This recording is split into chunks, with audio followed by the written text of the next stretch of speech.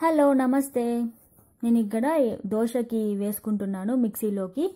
అందుకోసమని ఒక three glasses rice వేసి అందులోకి two one and half glass ఉద్దిపప్పు కొన్ని పెసలు కొన్ని మెంతులు వేసి ఎయిట్ అవర్స్ నానబెట్టుకున్నాను.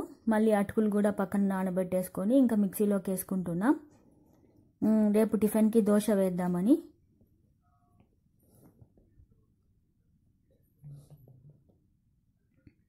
ఇంకా అంతా అట్లా వేసేసుకొని కొన్ని వాటర్ వేసి క్లీన్ చేసేసుకొని ఒక సైడ్లో పెడతానమాట అంటే కొంచెం ఫర్మెంట్ అవ్వడానికి పిండి. ఇది నెక్స్ట్ డే మార్నింగ్. నేను మార్నింగ్ మార్నింగ్ లేచినాక కొన్ని జీలకర్ర వేసుకొని హాట్ వాటర్లో కొంచెం సేపు మరిగించుకొని దాంతోకి కొంచెం తేనె నిమ్మకాయ వేసుకొని తాగుతున్నాను. అదే చూపిస్తున్నా మీకు. ఇంకా ఇక్కడ సామాన్లన్నీ నైట్ తోమినవన్నీ అట్లనే ఉంటే అన్నీ ఎత్తిపెట్టేసుకొని మళ్ళీ బాదం పప్పులు కూడా అన్ని పీల్ ఆఫ్ చేసి పెట్టుకున్నాను అనమాట అందరం తినడానికి ముగ్గురం. సో అది అయిపోయినాక ఇంకా నేను తాగేస్తున్నాను. ఆ తర్వాత ఇంకా పిండి తీస్తున్నా. కొంచెం బాగానే పొంగింది కదా ఫర్మెంట్ అయింది చూడండి. ఒక హాఫ్కి వచ్చింది ఇప్పుడు కొంచెం ఫుల్గా వచ్చింది. ఇంకా నేను అంతా కలిపేసుకొని సోలా పొడి ఉప్పు వేసేసి కలుపుకొని ఇంకా దోశలు పోసేసుకుంటున్నాం టిఫిన్కి. ఇంకా నేను దోశలోకి ఎర్రకారం పప్పుల పొడి చేసుకున్నాను చేస్తున్నాను ఈరోజు చేశాను.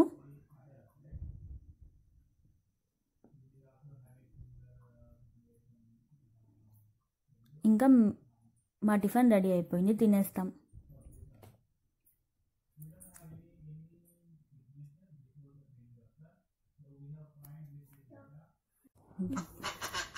టిఫిన్ బ్రేక్ఫాస్ట్ చేసేసాక చైతన్ను వీడియో కాల్ మాట్లాడుతున్నాడు. మా అమ్మతో నాన్నతో. అదే అడుగుతారు కదా ఏం టిఫిన్ చేసినారు అది ఇది అని. ఇంకా మా అమ్మ అక్కడ చిన్న చిన్నవి ఏంటి బుడిగలు చూపిస్తుంది అనమాట బొక్కలు గరిట అవన్నీ చిన్న చిన్నవి నీవు ఉన్నాయి రా చిన్నోడు అని. ఇంకా ఆ తర్వాత నేను కర్రీ గిన్నె అయిపోయాక ఇంకా స్నానం చేయించి చేతన్కి ఇంకా లంచ్కి ప్రిపేర్ చేస్తున్నాను. అన్నం పప్పు చేశాను. పకోడా చేస్తున్న తర్వాత ఇప్పుడు దానికి కావాల్సింది ఆనియన్స్ పచ్చిమిర్చి అల్లము వెల్లుల్లి అన్నీ క్రష్ చేసి దంచి పెట్టుకున్నాను. ఆ టూ కప్స్తో శనగపిండి తీసుకొని వన్ కప్ బియ్యం పిండి తీసుకొని కొంచెం పసుపు కొంచెం కారం కొంచెం ఉప్పు తగినంతగా వేసుకోవాలి. కారం చూసి వేసుకుంటే బెటర్. ఎందుకంటే అన్నీ వేసుకున్నాం కదా అందుకోసమని. ఇంకా లాస్ట్లో వాము వేసుకున్నా. ఇంకా అవన్నీ వేసి కొన్ని కొన్ని కొంచెం పుదీనా ఒక టూ త్రీ ఆకులు వేసుకున్నాను. ఇంకా తర్వాత బాగా మెత్తగా ట్విస్ట్ చేసుకోవాలి. ఎందుకంటే ఆనియన్స్లో ఉండే వాటర్ అంతా ఇంకా శనగపిండికి పట్టేసినాక లైట్గా కొంచెం అలా తడుపుకోవాలన్నమాట కొన్ని నీళ్ళు వేసుకొని అంతే. ఎక్కువ నీళ్ళు వేస్తే పకోడా అనదు అదే క్రిస్పీ క్రిస్పీగా రాదు. ఇంకా సో కింద అట్లా అడుగున ఉంటే కొంచెం వేసుకొని నేను కాగే ఆయిల్ కూడా వేసి పిండి కలిపి పెట్టుకున్నాను. ఇంకా ఆయిల్ హీట్ అయ్యాక బాగా వేడి వేడిగా ఉండాలి ఆయిల్ ఎక్కువ హీట్. అట్లా గుంటలు గుంటలు వేసుకోకుండా ఎక్కువ లావు లావు ఇలా చిన్న చిన్నగా వదిలేయాలన్నమాట ఆయిల్లో.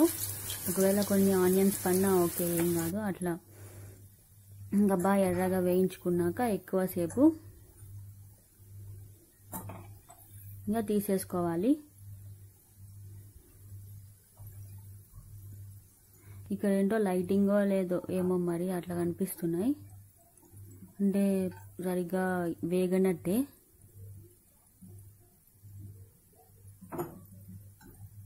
కానీ బాగున్నాయి. అంటే అంటే బాగా వేగినాయి అన్నమాట మళ్ళీ కిందికి వచ్చినాక అదిగోండి అట్లా వచ్చినాయి ఇప్పుడు.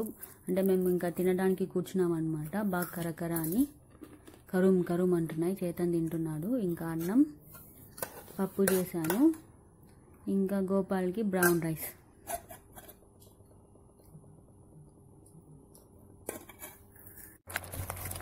ఇంకా లంచ్ లంచ్ తిన్నాక నేను గణపతి స్వామిని చేస్తున్నానండి.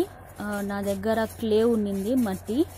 అంటే ఇక్కడ దొరికిందనమాట ఇంగ్లాండ్లో. నేను తీసుకున్నాను ఇంతకుముందు వినాయక చవితికి కూడా ఇలాగే చేసి అదే విగ్రహాన్ని పూజ చేసుకున్నాను. ఇప్పుడు కూడా అలాగే చేస్తున్నాను.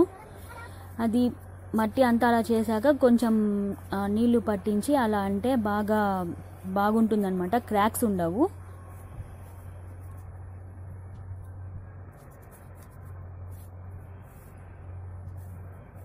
సో ఇంకా అంతా చేసేసినాక అలా బియ్యం ఉంటుంది కదా రైస్ అలా పెడుతున్నాను.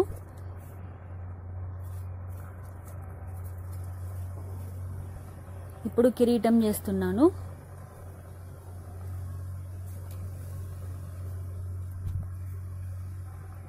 నాకు తెలిసినట్టు నేను చేసుకుంటున్నానండి. ఇంతకు ముందు కూడా ఇలాగే చేసుకున్నాను. ఇప్పుడు ఎలుక మూషిక వాహనం చేసేసి దానికి కూడా ఐస్ అదే రైస్ రైస్దే ఆ బియ్యమే పెడుతున్నాను.